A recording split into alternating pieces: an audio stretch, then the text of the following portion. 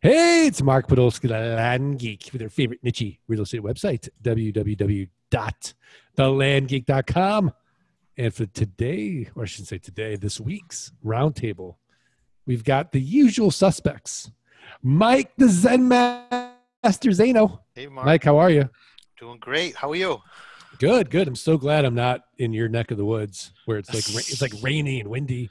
I saw Boston's been getting killed. Yeah, we had the worst uh, probably night in a long time. The other night with the storm it was is uh, just all kinds of power lines and accidents, all kinds of things. I was wor- I was literally worried about you, not you personally, but like you in the sense like you were like working a 24 hour shift saving people's lives. So I guess I was worried about you, but not like not your house, but like your you know. well, that's why I voxed you this morning because I didn't know what day it was. I'm sorry I missed the roundtable, Mark. I'm like, wait a minute. Today is Tuesday. Yeah. There you go. Wait, We you got had to Eric, no nickname Peterson. What's up, Eric? How you doing, Mark? Good to be here. Good man. Good. We've got Tate, the big Papa Litchfield. Hey, Tate, how are you? I'm doing well. Just laughing because Mike Zano had to he had to vox me today too. He must have forgot in between. I forgot the he voxed time. You, and then What? he time he Mark told me what day it was. You told me what time. So I, the two of you, uh, perfect. Thank you. Yeah. and then, of course, Scott Todd from scotttodd.net, landmoto.com. And of course, you should be posting automatically your Craigslist postings. Postingdomination.com forward slash the land geek. And by the way, do you guys know you can also automatically post on Facebook by sell groups? Postingdomination.com forward slash the land geek. Scott Todd, how are you? Mark, I'm great. How are you? Uh, pulse is normal. Respiration's fine. Uh, back from a nice, relaxing 20th anniversary wedding trip to San Francisco. And uh, now I'm back, and I want to talk about efforts as our first topic. Underestimating efforts. Scott, when you see underestimating effort, what does that? What do you make? What does that make you think of? Matt, you know, I think that uh, I think that you know we live in an instant gratification society, and I think that people think that oh, I can just do this one little thing or two little things, and success is going to come to me, and that's like just not the case. I mean, you've got to take more effort and do more work to complete the task that you want to complete than what you really think. It's un you, you got to overestimate it. Yeah, uh, Tate Litchfield. What, what does it make you think? I about? mean, you know, it's the amount of requ work required when you're starting, especially. It's, I mean, it's, we see it all the time on the marketing side of things. People think, oh, you know, I'm going to post my first Craigslist ad and boom, my phone's going to be ringing off the hook and people are going to be throwing money at me. Or when people send out their first, you know, deal of the week or letter to their buyers list, they think, oh, great. You know, the guys on the podcast, they say this is the holy grail. They send that email out and it's crickets. Well, they don't realize that it requires more than just an email. It requires picking up the phone, follow up emails, hounding these people to make them realize that they want this. So the amount of work required, it's, it's, I mean, you can't even measure it. It's, it's, it's daunting at first, but then it gets slowly more manageable. Yeah. How about you, Eric Peterson? What what do you think about when you, when you hear the word underestimating effort? Or the phrase, I should say. I, I think what comes to mind immediately is just, um, uh, you know, kind of as Tate was saying, we, we often see it in the community um, where, you know, uh, someone will start off strong, whether that's on mailing or marketing or what have you, and they don't see the results right away, whether that's right away being a week later or two days later. Um, you know, and then they get discouraged and rather than continuing to plug away at it and just, you know, keep going because you're going to get there if you keep going, they instead either taper off or just, you know, pull back completely and, you know, kind of lose the effort that they put into it by just, uh, by giving up too early. So, um, that's, that's kind of what it means to me, I think. Yeah, uh, yeah, I, I, I agree. How about you, Mike Zano? What do you think about? Well, I think it's the consistency. I think that yeah, people want instant gratification, but the thing is, some people do, right? But they realize we're doing the same things over and over again. It's a consistent effort we're putting in. So you can do that thing once, you can mail out once, you can market once, you can send to the neighbors once, you can send to your buyers list once. But the, what separates the people that succeed and those who don't is the consistency. And the consistency is what brings about the results. So you do it like, hey, I put five ads out, why has no one bought my property? Or I sent 100 mailings out, why am I not buying land? Or whatever it may be it's just it's the false expectations. It's like you know this that, that you're doing the right things but are you consistently doing the right things? That's what's going to move the needle and that's what separates the people who succeed and don't. Yeah yeah absolutely. You know it's funny I, I it kind of makes me think of uh, when i was younger and i was uh, you know getting into like you know weightlifting and bodybuilding and i had a personal trainer and i was you know getting into it and i remember saying to my personal trainer um, you know how long is this going to take before I see any results. And he kind of looked at me like, first of all, you've it's taken you years, by the way, to get to where you are right now, right? years. So, you know, your expectation of any kind of change, uh, yeah, like it, you might see a little bit of change after 90 days. I'm like 90 days. And I mean, I worked out really, really hard. I did everything he said to do. I didn't see any change for 90 long, excruciating, painful days and then I didn't really see any really, you know, like my friends would look at me like, you know, that was like a year later that I saw any kind of improvement at all after, you know, consistently showing up at 4:30 in the morning, working out really, really hard with this guy, pushing myself to limits. And uh, it took a long, you know, to me, what felt like a long time. And, you know, a lot of it might just be poor genes or whatever it is. But, uh, you know, it took took a long time. It made me think like, I mean, think about things in your own life, like right, like all the bad things happen really fast, right? You get that horrible call in the middle of the night. You know, your grandmother just passed away. Boom, that's fast, right? Um, all the bad things happen super super fast. All the good stuff, all the things that we're proud of, all the rewarding things in life take a long time. They take time, right? I mean, gosh, nine months just to have a baby, Tate. I mean, you know, that long, right? I mean, you know, or just, uh, I mean, think about like your own lives, right? Like, I mean, we're, we're like, what are some like the proudest things? I mean, take, they take long time. There, it's nothing is effortless or instant gratification. Rarely will provide that type of reward. And so I think when we're talking about underestimating effort, I know I'm talking a lot, by the way so feel free to jump in. But when I, when I think about underestimating effort, I think about that like get rid of the timeline and focus on okay, if I know that Scott and Tate and Eric and Mike are posting 16 ads a day and they've been doing this a long time and they're successful, I should probably be doing 32. Like there needs to be a baseline of a minimal amount of effort. And I think a lot of times, correct me if I'm wrong, people don't know what that is sometimes, especially if they're not in coaching. I mean, what do you think, Tate? Yeah, I mean, you got to know what other people are doing to get their success and either match it or exceed it. And the thing that a lot of people forget is it took Scott a long time to get to where he's at with his land business. It took you a long time. It took Mike a long time, right? They put in the work. These guys were all willing to do whatever it took to achieve success.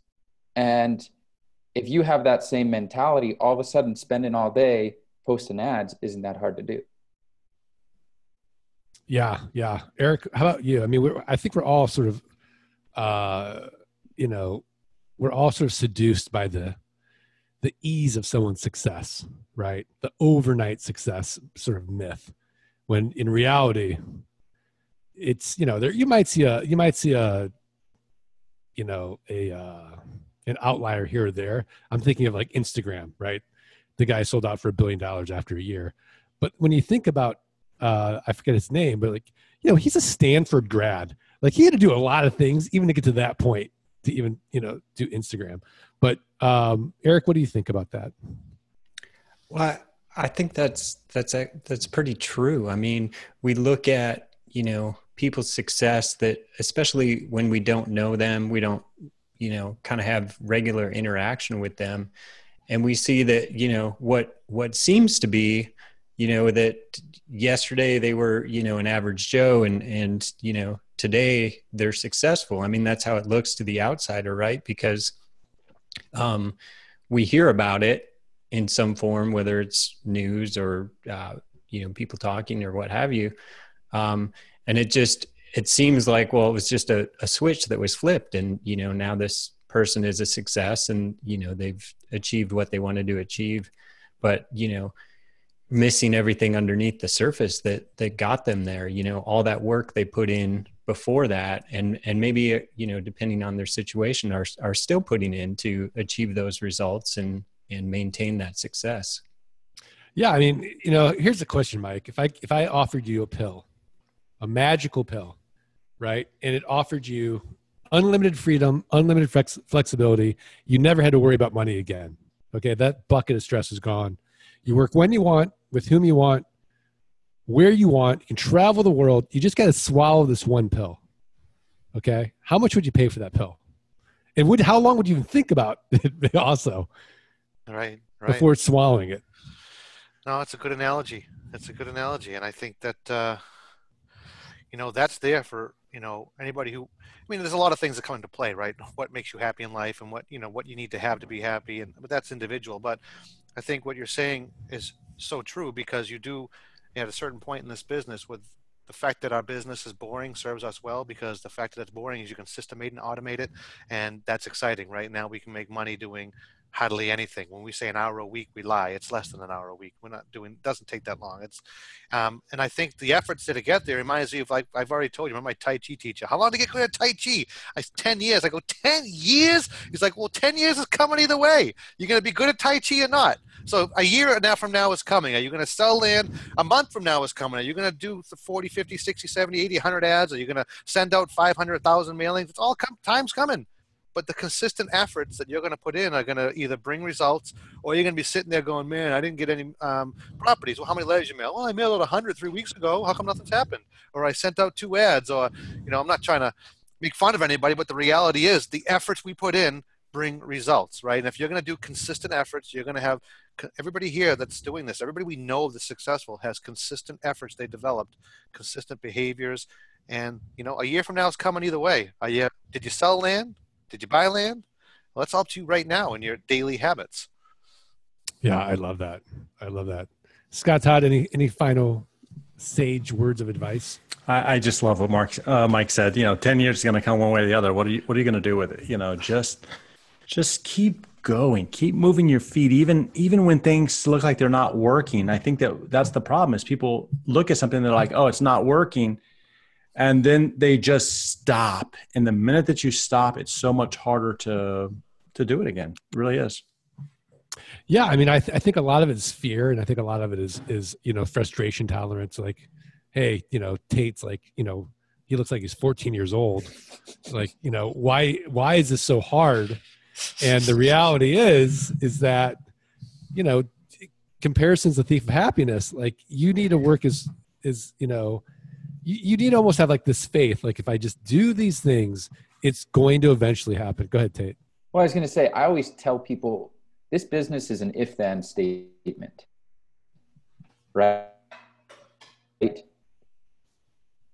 Oh. and it, it, say that okay, again because gonna yeah, uh, i always tell people i always tell them it's an if then statement. If you do this you will have this as the result right? If you post ads on craigslist then you will sell your property right? If you mail, then you will have the opportunity to buy, right? It's, it's, it's a very simple equation. If you do this, the result will be this. Yeah, it's, it's so true. And you know, how many, how many businesses can you really say, Hey, there's a one-to-one ratio between effort and results, right? There's not that, that many. I mean, a lot of it's luck's involved or, um, you know, not, not so much in this niche. There's just such a massive market, no one doing it. It's, it's kind of crazy. All right, let's let's pivot to something that you know has personally been annoying me that I see this in the Facebook group when people post about, hey, how can I collect a down payment? Now I'm going to be very generous with this information, how to collect a down payment. But there is one really great way to do it um, that makes it super easy. But Mike Zano, how how how do you collect down payments, or how would you recommend someone get a down payment? Right. Well, we know the obvious that we're talking about. So we're talking about we're talking about other ways. Is that we're looking at? Uh, because, Yeah, yeah. Let's talk about all the other ways before before we talk about my favorite way. Okay. Well, in the beginning, I know, and you know, this is this is always brought up in the uh, in the uh, different discussions. You know, in the beginning, I don't see why. You know, if you take a payment here or there through uh, through uh, PayPal, I don't think anybody's going to crucify you. I don't think they're going to immediately kick you off. I know that they don't prefer that that type of business, but you know, I, I think that that's definitely a possibility. So, since there's only you know, I think that uh, that's. I'll throw that out initially, right? That you know, if you're starting off and you're dealing with a person that wants to, uh, you know, pay you some money, then invoice them through PayPal and don't worry about it. You know, if they kick you off, they kick you off. I don't think it's going to happen right away. My experience was I was able to do that for a very long time under the radar. I just didn't. You know, uh, it was a simple transaction, and I never had an issue. So I think that that's definitely a possibility in the beginning. In the beginning. Okay, great. Uh, how about you, Eric Peterson? Um, well, I, I think that the next two obvious um, solutions are uh, Stripe and Square. Um, both of those are online credit card merchants. Um, you can take payments over the phone. You can send an invoice um, through uh, Square. I don't know if you can do that in Stripe. Um, but again, it's it's um, it is there is a level of risk involved in it in that uh, you could get your account closed down um, in doing land transactions um, but i think uh, what's the rule mark if it's if it's a down payment or a doc fee or just a a flat payment is not recurring that you're, as long you're as it's much not more recurring, you're, you're much safer. Absolutely. yeah Yeah. Uh, Tate, how about you? I know what you're going to say, but Well, I mean, all, all the young hip kids are doing this app. yeah, Venmo or there's a million different apps out there where you can instantly transfer money real easily. In fact, I was uh, looking at my bank and they have Wells Fargo actually has a, a service now within it. It's called Zelle, Z E L L E, where you can basically transfer funds from one Wells Fargo account to another. It's kind of like a wire transfer, but similar to Venmo in the sense that it's, you know, super simple and you can do it with just an email address and that occurs instantly. So, you know, there's lots of different techni- you know, new apps or different features to go ahead and do it. Um, Venmo's great. It's not so great if you have to teach somebody how to use it and then have them download it. It's a perfect app for somebody that's familiar with it ahead of time. Yeah. Yeah. How about you, Scott Todd? How, how would you prefer to get your down payment? Well, you know, I, I think that you, PayPal, wha- whatever. I mean, I think too people, too many people get hung up on the fact that yeah, these these companies don't like our business. But you know what? They only know that you're in that business because you tell them, and you're like, hey, it's Scott's Land Company, as opposed to it's Scott Todd just accepting the payment, right? But uh, look, I mean, sometimes people tell me like, oh, I want to pay with a check. You know, I, I want to mail you a check, and and I'm all about now. So I would say, oh, check, yeah, no problem. If you give me your ACH number, the routing number, the numbers on the bottom of your check, and um, you know your checking account number, well, then I can go ahead and draft it directly from directly from there, and we can kind of complete this without you even having to mail us mail anything. They're like, well, how do you do that? I'm like, it's kind of electronic check. So there's there's two services you can look at. First is checkeeper.com, right? I, I mean, I use checkeeper.com to kind of uh, mail my my payments to my um, to my um, sellers. However, you can go in there and create a template, and you know what? You can say, hey, here's a template for uh, for Mark's checking account, and and go ahead and print out a check right from your own home and and do that. There's also a service you could look at called uh, PaySimple, PaySimple.com and they do e-checks right? Like you can go in there and and uh, start accepting electronic checks. And you know for, forget this need of oh uh, how do i collect payment? Just do it somehow. I mean like i said keep moving your feet and figure it out Yeah. Yeah. I like checkbook.io, Scott. checkbook.io that's good too Yeah. Yeah. But I'll check out PaySimple. Is Yeah, it less check money? out. Checkbook.io is like a buck. I think Checkeeper's a buck. well the, the thing about checkeeper that i like is the fact that um, it doesn't require checkeeper to, to do it the way i do it it doesn't require that they um, that they kind of create an account or anything i just take their checking account information and just draft that that one amount pay simple is kind of the same thing i i take their checking account information print out my own check and off to the races i go That's pretty good. That's really good. Well, if you don't know, you can actually get down payments on geekpay.io. And uh, I don't know, Eric Peterson, why I'm not overwhelmed with new geekpay.io customers. You have to explain that to me. But we are working on it. We are improving it. We are creating a, a, a purple cow uh, as in the world of brown cows. And that, you know, those new features that are going to, you know, make people's heads explode are, are, you know, being worked on. But in the meantime, you know, you can you can collect a down payment via Stripe. It automates it, and then it automates collecting the ACH every single month as well. Um, and it's you know it's actually a profit center when you think about the time savings. And if you charge the doc fee and you charge a monthly fee, it's a profit center. Doesn't it's the only software as a service that I know that's actually making you money because it saves you time and makes you money. I don't know. What am I missing? I'm missing something.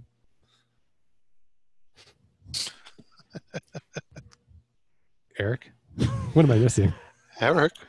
I, I Eric, don't think you're play- missing anything. play He devil's missed his- He missed his cue. Come on. Is it is it poor marketing on my part? Maybe it's just bad marketing. I, I I feel like um, anybody that's collecting terms payments should be using GeekPay. Now, you know, granted, you know, newer people in the community, they're they're maybe not to that point yet, and I could understand that. But The as soon as they get their first one, yeah, I mean, you've got to try it. I mean, it's it's uh, there's no better solution. So, um, yeah, All right, fine. That's that's enough of a geekpay.io commercial. Speaking of commercials, today's podcast is sponsored by postingdomination.com forward slash land geek. All right. Tips of the week. Are we ready? We're there. We're there. Mike's like, wow, I didn't think it would go that fast. Jeez. So, Mike, why don't we start with you? no, you. I'll skip you. I'll, I'll be nice. All right, let's start with Tate. Tate's got a tip of the week. All right. So I'm gonna do a uh, round ta- round table first and actually share a movie quote for my tip of the week. How about that? All so um, don't know if this is allowed or not, but I'm I'm I'm calling it. So there's a great movie out there, and it is called. I'm sure most of you have seen it. It's called The Wolf of Wall Street.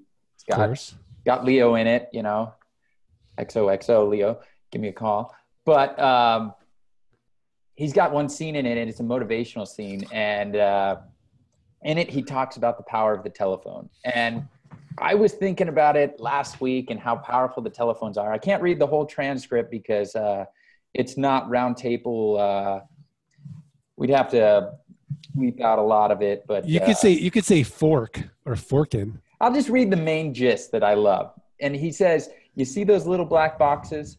They're called telephones. I'm going to let you in on a secret about those telephones. They're not going to dial themselves. Right. And then he goes in to talk about how you need to be telephone terrorist. And I thought, that's pretty amazing. That's a pretty powerful statement. And it applies directly to what we do, right? Every single person in this business should be trying to get people on the phone. Now, when you get them on the phone, do you call them one time or are you calling them consistently all the time? When you get a new property, are you giving them a call and saying, hey, Mark, first right of refusal, yes or no? And if you're not, you need to start doing that. So check it out. If you guys want to see that, it's a three minute long video clip. Um, it's from Leonardo DiCaprio. It's uh, you know, you can type in YouTube, The Wolf of Wall Street telephone scene. It's fantastic. It'll get you pumped up. Um, pick up the phone, guys. The best way to make money on the internet is on the phone. So do it. Nothing like quoting a degenerate drug addict I know. like Jordan Belfort. But it is it is a good it is a good scene. And you know, he did he did clean up. He did clean up. I thought about that when I was thinking. I was like, oh man, the guy's a real scumbag. But there's a good principle. There's an underlying Yeah, principle. There. exactly. I dropped it in the. I dropped a, a little link in the um, in the chat bar. You guys will have to watch that video after we hang up because it's good. Yeah. I mean, again, you know, if you're listening to this and like you come from like, you know, the Zig Ziglar world like I do, um, you know, you got to remember Tate's, you know, just turned 15. And you know, this is this is like who he's growing up with. Is, Yeah. is Wolf of Wall Street. Right? Like like, you know, Scott and I grew up with like Wall Street. Uh, you know the you know the Greed is good. The '80s movie. Yeah, Greed is good. Uh, What's kind of that? thing. Michael Douglas. Michael Douglas. Yeah, I know. See, Tate's like, what what movie is that? Oh, that An color? Oliver Stone movie. Tate, that in gotta go color? back. What's Yeah, it's in co- is it it's in, color. Yeah, Oh, it's not. cut him off. Cut him off. Yeah. Cut him off. I know. Is it Tate, in Tate's like, is it is it a silent movie? Unbelievable. That's good. All right, let's go to the other young guy in the group. Eric Peterson, what's your Oh, you're gonna tip say of the me, week? Eric. Gee. The super young guy.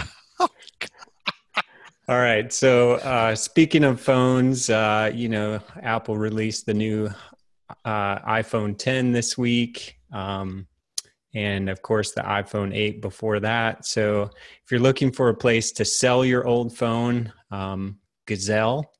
uh, I don't know if you guys know about Gazelle, but I've used them many times to to uh, sell off old phones, and it's just super easy to do. It's so much less of a headache than putting it on eBay and dealing with that. So um, that's all I got this week. All right, nice. I you know you can use posting domination and actually automate the listings. You could, You know, but then you'd have to meet someone in a parking lot and hand them the phone. Would you really want to do that? uh, I've done it. It's kind of fun. it's like taking an Uber. You know, str- I don't I don't have the stranger danger. Like maybe I should, but I don't. I don't know.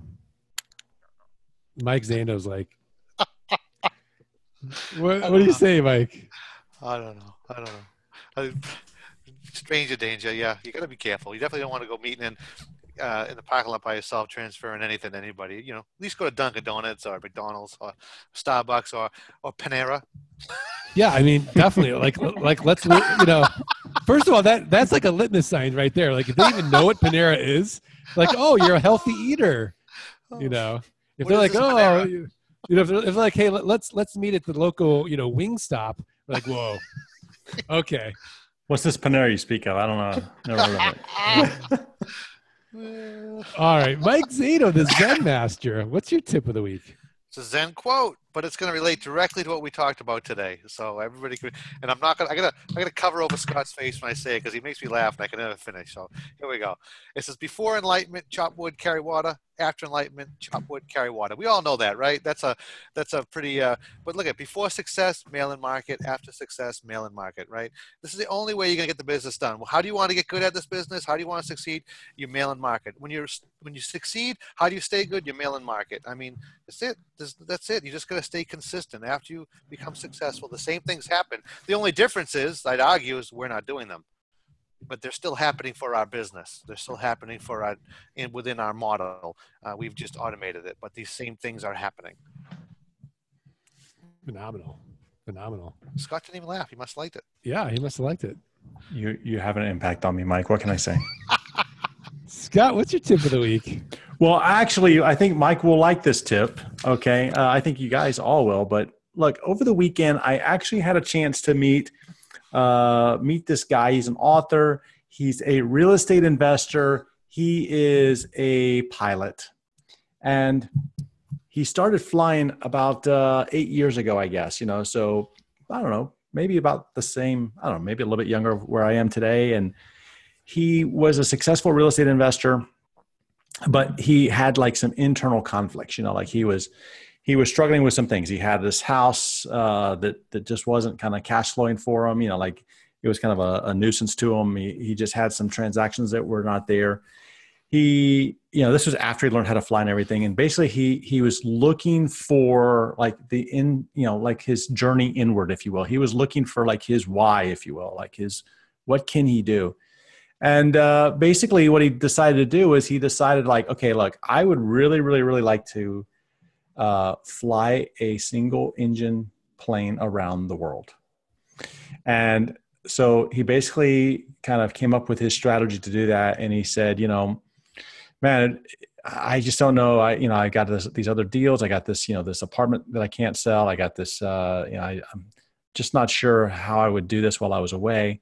So he said, look to the universe he said listen if you just help me like send me the sign just help me like can i can i can I sell these properties? Can I get them fixed? Can I get them going? And if so, I will dedicate the next two years of my life to kind of helping others. And literally, he said, like within 48 hours, he, that house that wouldn't sell, he had a cash offer on it. Bam.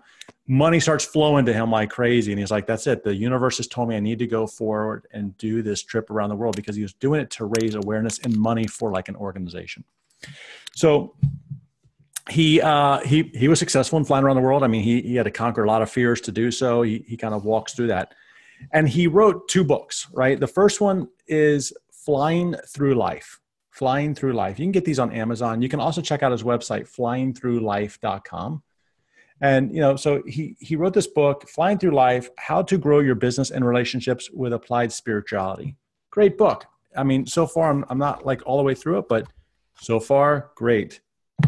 He then also followed that up and he wrote another book that I know Mike's going to love just this. It's it's called The Zen Pilot, right? Oh, All right. Flight of Passion and the Journey Within.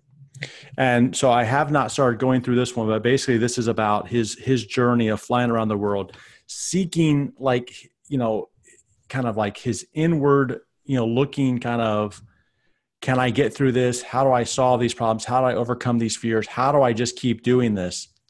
And, you know, he takes all of the money from these two books, believe it or not, he takes all of the money and he basically donates it back to charity. So he goes out, he does he does speeches and programs to try to generate awareness for his books. I mean, this you can just tell this guy's not really about about it for the money. Uh, He was selling these two books for like literally twenty dollars, and like all of the cash was going back into uh, kind of charity. So you know, essentially, check them out. I think you guys would like them. well, I, I think that what we should be doing, Scott, is if everybody who goes into flight school should get Zen Pilot from us. That or the the flying through life. I'll I'll choose. I'll choose. You choose. Let me read it. I'll choose. What do you think, Mike? It's a, it's a pretty good glue gift. I think it's excellent. Yeah. why Yeah. not? And, Yeah. and we're doing and we're doing a good thing for the world too. Yeah, I'm that's right. Amazon right now. Yeah, Yep. awesome. All right, so my tip of the week is kind of a weird one, but it, it's download either. Oh no, Tate's like great. All right, I, I download the 60 Minutes app, or actually just watch 60 Minutes online. But there was a really, for me, it was transformative. A little, I think it was like maybe 12 or 15 minutes, and look up the Hubble telescope. Have you guys seen that segment on the Hubble telescope? Tells you how old I am that I'm watching 60 Minutes, by the way. But, anyways, if you really want to get a sense of perspective and just how insignificant we really are in this universe, and for what some reason that makes me actually feel really good, um, in a in a weird way. I can't explain it, but um, we're here for like a blink of an eye. We're super insignificant and the universe is vast right? I actually think it's called vast.